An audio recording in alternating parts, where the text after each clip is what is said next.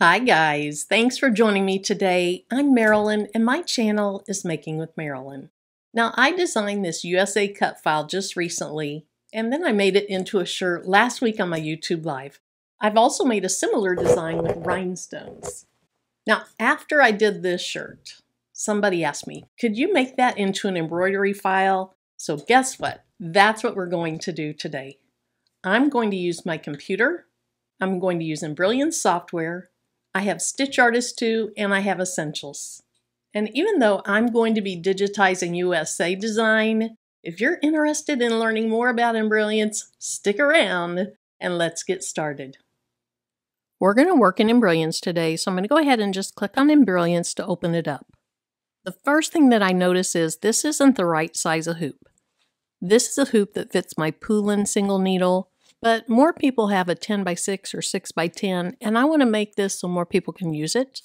So to change the hoop size, one way you can do that is go right up here to Embrilliance, go to Settings, and I can select the one that I want. This 240 millimeter by 150 millimeter hoop is what I want. So I selected it and I'll say OK. Now what I see is that the hoop's the wrong orientation. So to get that wide and short, I'm going to double click right here and it changes it for me. Now I already have the USA file as an SVG, so I could bring that and just work with it, but I really want to just start from scratch so you see from start to finish how to do this. Also, I'm not going to use actual embroidery fonts. I'm going to bring in a font from my computer system. To do that, you're going to go right up here if you hover over it, it says Create Designs, and we'll click on it. Now I go over here to the TT, click on it, and then this box pops up. I want to change the font from Georgia to Impact. And then I'm going to back over this, and in all caps, I'm going to type USA. Now I can just say OK. We are probably going to adjust the size of this a few times, but let's at least start with it quite a bit larger. In my design, I want the S to be quite a bit taller than the U and the A. So let's go ahead and click off of it. And before we go forward, notice that this U extends that far down and the A doesn't. So the U is a little taller than the A, and that's just a feature of this font. I'm going to click on the A and then I'm just going to make it taller. I'm going to leave it the same width and just make it taller. And I think that looks a little bit better. It's going to be more the same size as the U this way. All right, now let's click on the S, and I want to make it larger, but I want to start by having it proportional. So I'm going to drag from one of these side squares, because that's what keeps it proportional, or proportionate, whatever the word would be, and then now I just want it taller. So I'm going to drag from the top. And if I want to, I can drag from the bottom. Notice they're overlapping and I don't want that. So let's click on the A. And then using the arrows on my keyboard, I'm just going to click it a few times to go to the right. I'll also click on the U and I'll use the left arrow. Okay, I think that looks pretty good. Now I want to select all of my letters, and for me the easiest way is go right back here, click on Create Designs, then I can just drag my cursor all the way around them. To align them the way I want, I go right here. If I hover over it, you see it says Align and Distribute. So let's click on that. If I wanted to align them at the top, I'd click here and I'd say Apply. But that's really not what I want. What I want is for them to be in the middle or to line up from their middle from top to down. Let me just show you what I mean. That probably didn't make sense. I'm going to click right here where it says Center V and apply. And when I click apply, then you'll see what I was trying to explain. Okay, that's perfect. Then the distribute, if I click on that, I'm adjusting them going the other way. So instead of top to down, it's side to side. So if I click on center, there should be equal space between the U and the S and the S and the A. So I selected center and I'll say apply. and it moved the S just a little bit. Now I'm going to say close. Even though this is technically in the center or distributed evenly between the U and the S and the S and the A, let me click off of it and back on it. I want to move it over just a little bit to the left. I think this is awfully close right here. Well, now I think the U needs to go over as well. I think I want the S to go just a little bit taller. So I'm going to go through that process again. Let's select everything. Sorry, that made my screen go down. Let me go ahead and move it back up. To drag it up, I hit the space key, hold the space key down, and then just drag it with my cursor. All right, let's select all three of those. We're going to go back to the Align and Distribute. I'll click on it, and I'll click on that center V and apply. And it moved the A and probably the U up a little bit. You just couldn't see the U. Now that I have the letters I want, let's start turning this into an embroidery file. For the USA, I'm going to make this into an applique. So when I do an applique, I like there to be a position stitch or a placement stitch. That's where the machine puts just a narrow line around where the letters go. It's called a placement stitch or a position stitch because it shows you where to place your fabric. After you set the fabric down, you typically have a tack down stitch. In here, I think they call it a material stitch. So then you run that stitch over your fabric. It's going to stitch in the same place as your placement stitch did. It stitches down your fabric. Then you can take the hoop off of the machine and trim your fabric. After that, you put it back on and you're going to do that really pretty border satin stitch. So let's go ahead and make that happen. With everything selected, I go right up here, back to the Create Designs, click on it. And if I wanted this to be totally filled in, I could click right here. That's not what I want. Instead, I want an applique, so I'm going to click here. Now this border stitch is not what I want, so let's go right down here to applique, and there's a couple things I need to do. First of all, the default for my embrilliance is to only put a position or a placement stitch. Remember, I also want the tack down stitch, which they call material stitch. So with applique selected here, I'm going to click on material and then I'm going to change my border stitch from an E-stitch to a satin stitch. I just think that looks so pretty. Because these are really large letters, I can have my stitch width be wider than 3 and that's going to make trimming my fabric away and knowing that my satin stitch is going to cover the edge of the fabric even easier. So let's click here and let's drag this up I at least want to go to four. Let's try four and a half. Okay, that looks pretty good. I think maybe I could move the A over one. Okay, I think I like that just a little bit better. I have all the stitches of the main part of this design done. So let's go up to the stitch simulator and see how this would stitch out. We still have an issue with it. So I'll click right here on stitch simulator. And the way it's set up now you would get the placement or position stitch of the U. Then you would get the tack down stitch, and then it would do the satin border stitch. After that, it would move on to the S, it would do the same three steps, and then finally it would do the A. Well, I don't want to have to do my letters individually.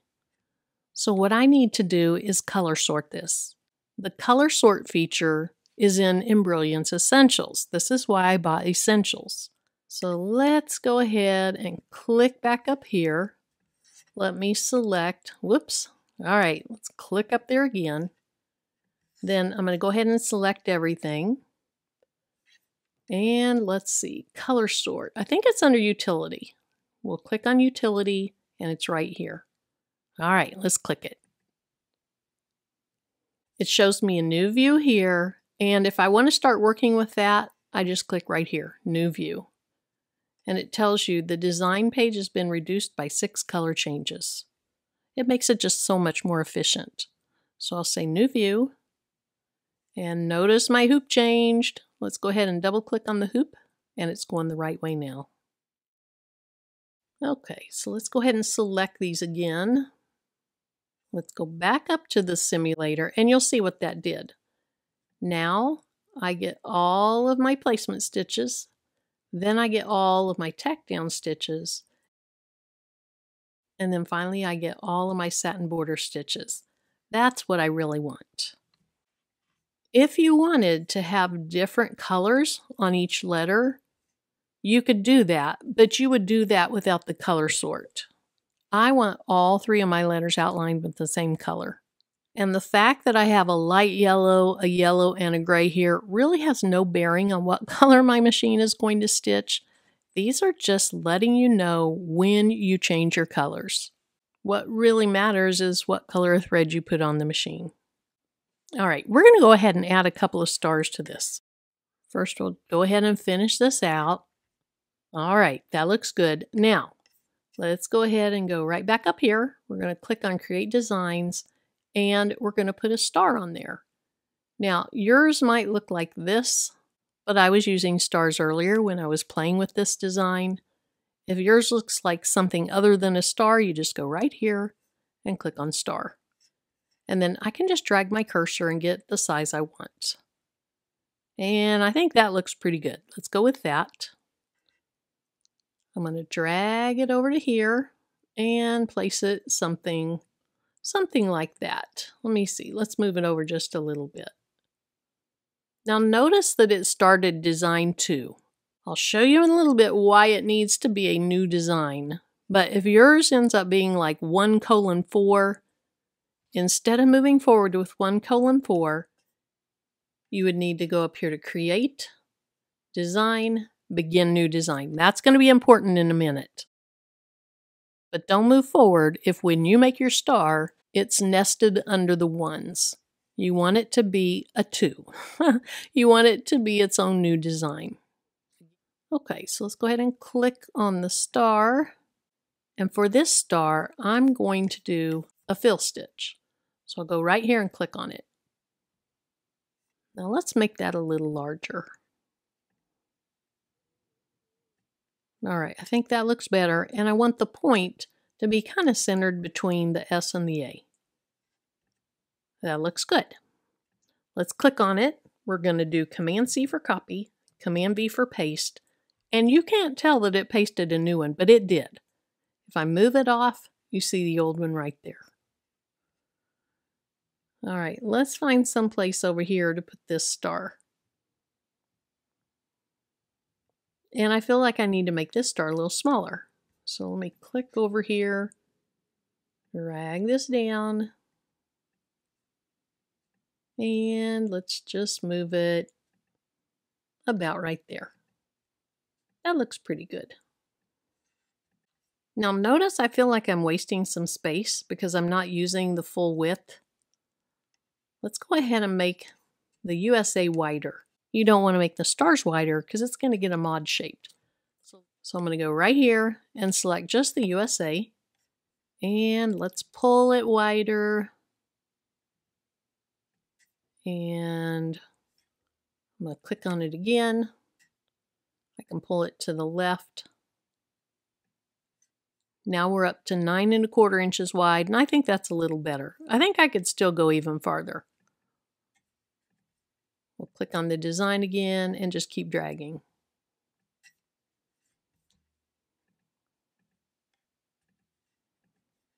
Sometimes I have to click off and on things to get them to work, but that's okay.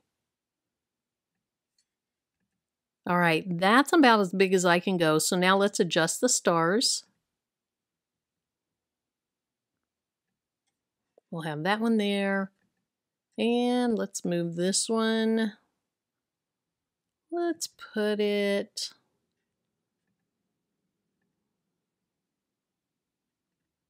Let's go about right there. Now I do want to change the color of the stars. I just don't like that gray. So I select it, go to color, click on the color that it is, and then, and then I'm going to look for a white. It's right here, so I'll say OK. So let's go to this one, and I can click on the color again. This time I can move from threads to palettes, and palettes will show me colors I've already used. That's easier to select the white from, so I'll select it and say OK. And then just for fun, let's go ahead and select the USA. It's this dark gray. Let's select it and then go back to threads. And then I want to find a red. I'll use True Red and I'll say OK. So there's my design. I probably won't use these exact colors, but there's my design. And I'll show you why it was really important to have these stars as a separate part of our design. So as a number two versus a one colon four. Go to the stitch simulator. I still need to do something, but I want to show you what it would stitch like first if I don't. So it would do my placement, my tack down, it would do my border stitches. Notice those border stitches are very solid, and then it would do my white stars. I really don't want to have that much bulk under the stars. So to fix that issue, let's go back to create. Let's click on create again. There it is. That's what I was looking for. We're going to click on these scissors and it's going to remove the hidden stitches. So you're not going to have the amount of bulk behind your stars. Let's click on it. And then one more time, let's run that stitch simulator. We'll click on it. We have our position or placement stitch, our material or tack down stitch. Then notice, let me just stop it right here. Notice these gaps in the thick thread. That's so those stars can stitch out more smoothly.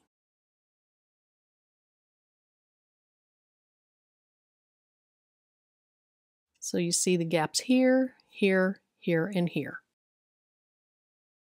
And then here's how the stars fit on top. So just to double back, the reason it was important to have the stars as their own design number, design number two, and not nested with the number one steps is that you have to have two separate designs to be able to use the hidden stitches feature. I have an entire video devoted to using and working with hidden stitches. It goes into a lot more detail about this feature than I did today. I'll have a tag at the end of this video that you can click on if you want to check it out. I'll also put a link to it in the description of this video. Now let's go ahead and save this design. So I'm going to go right up here to File. I'm going to save this as a stitch file and a working file. The stitch file is what I have to have for my actual embroidery machine, and the working file would allow me to still make changes. So if I want to come back into Embrilliance, if I use that working file, I can still edit this file and be fine. So I'm going to say Save As, and then I like to save my embroidery files as EMB, and then I'll put USA. Let's go ahead and put the word applique in there as well. For now, I'm going to save this as a DST file. So I'll say save. But let me show you how easy it is to save it as other types. Go back to File, Save As, Stitch and Working.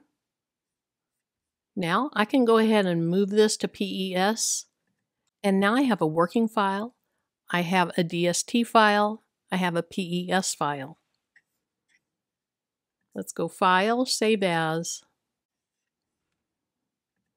and then we'll also go ahead and save it as a VP3 file. So I'll click on it and I'll say Save. So hopefully you found some value in this tutorial. If you want to see me stitch this design out, make sure you're subscribed also, if you are subscribed, make sure you tap that bell and select all notifications. That way YouTube lets you know anytime I upload new content. So if you want to see me stitch it out, stay tuned, watch for those notifications, and I'll be back soon for that. So thank you so much for joining me today. I hope you enjoy the rest of your day, and until my next video, bye-bye.